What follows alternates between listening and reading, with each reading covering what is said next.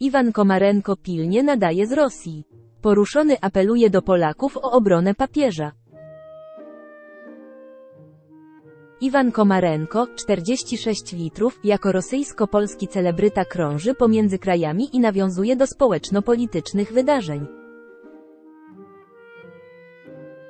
Niestety, nie komentuje agresywnej napaści swojego rodzinnego kraju na naszych wschodnich sąsiadów, ale za to chętnie opowiada o papieżu.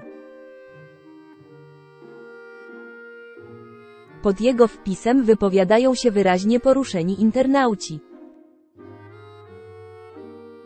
Iwan Komarenko pilnie nadaje z Rosji. Tym wpisem wywołał poruszenie. Iwan Komarenko urodził się w Rosji, lecz to w 2010 roku stał się obywatelem Polski.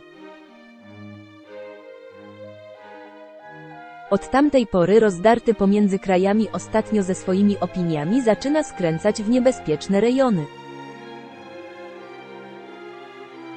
Ostatnio wokalista twierdził, że w kraju rządzonym przez Putina jest lepiej niż w Polsce pod względem wolnościowym. Może to dlatego, że jego piosenki nawiązują do odbierania nam wolności, kłamstw elit i wielkim planie depopulacji ludności na świecie. Nieoczekiwanie po wyjeździe do Rosji Komarenko postanowił zabrać głos w sprawie ostatnich afer związanych z papieżem Janem Pawłem II. Przebywając w Rosji, siłą rzeczy rzadziej śledzę wydarzenia w Polsce.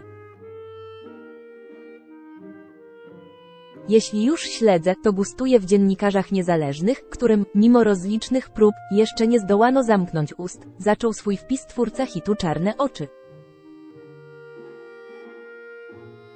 Iwan Komarenko pilnie nadaje z Rosji. Poruszony apeluje do Polaków o obronę papieża. Iwan Komarenko nie ukrywa, że postać papieża jest dla niego ważna. Jak sam wspomina, to dzięki niemu został obywatelem Polski. Nie wiemy w sumie czy dziękować, czy płakać za ten gest. Z najnowszego komentarza tygodnia Witolda Gadowskiego dowiedziałem się o bezprecedensowym ataku środowisk lewicowo-liberalnych na osobę papieża Jana Pawła II.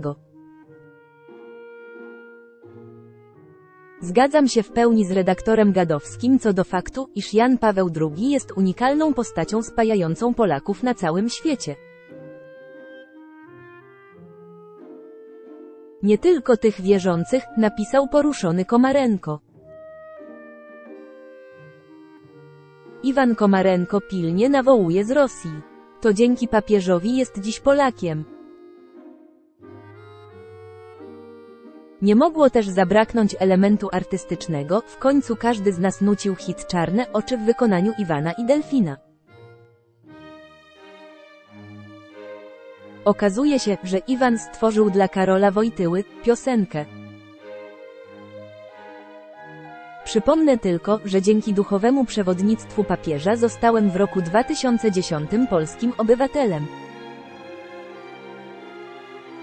Wiele razy publicznie wyrażałem wdzięczność wobec Ojca Świętego tak, jak umiałem, jako artysta za pomocą piosenki. W wersji polskiej śpiewałem Tak mówił papież w towarzystwie dzieci z chóru Tintilo, w wersji angielskiej w towarzystwie dzieci z RPA, które następnie zaprosiłem do Polski na Światowe Dni Młodzieży 2016. Filmową relację załączam z niniejszym komunikatem. Iwan Komarenko nawołuje do obrony papieża. Mówi o narodowej tragedii. Aby ładnie zakończyć swój apel, Iwan Komarenko podsumował, a nawet użył takich samych sformułowań, które można usłyszeć w przekazie polityków obecnie rządzących. Gdybyśmy dziś obsmarowali błotem Jana Pawła II na podstawie świadectw szemranych współpracowników komunistycznej bezpieki, byłoby to naszą narodową tragedią. Zgadzacie się z Iwanem?